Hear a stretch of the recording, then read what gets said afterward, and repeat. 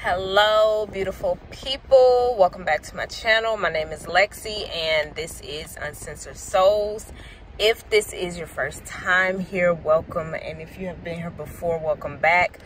I got a little guest with me today. Ace. Hey say hey. Say hey.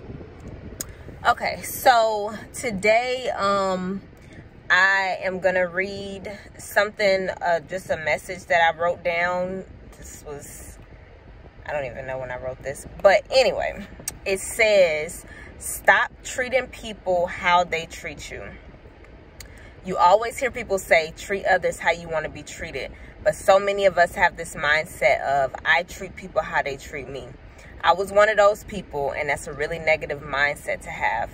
If you're one of those people too, then I suggest you let that go. That kind of mindset is a huge blocker to your blessings and your manifestations. It's not easy to switch this way of thinking, but if you notice that things go good for you, then all of a sudden you're back in the same boat that you were just in, you might want to ask yourself why. If you have a treat people how they treat me mindset, this could probably be one of your problems, but this is just some information that I'm sharing. Y'all do what y'all want to do with it.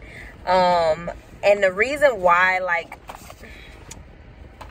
this is why I say this because everything is energy, right?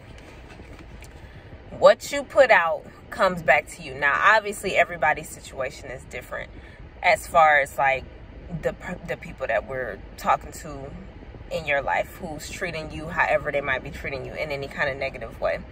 Um, everybody's situation is different. However, we have to think about karma. So I heard this lady in a video say the other day, um, everybody is working and you can guarantee that you're gonna your payday is gonna come.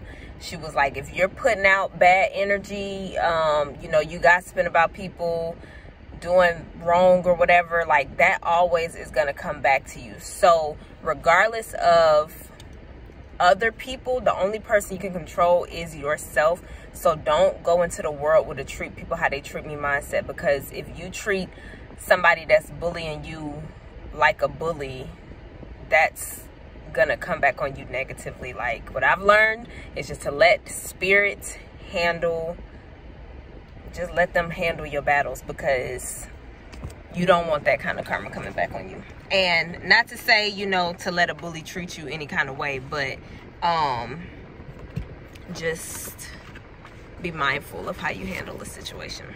So anyway, y'all, that's all I got for y'all in this video. Me and Ace about to go back inside. But I will see y'all in the next one. I hope y'all have an amazing day. And I'll see y'all tomorrow.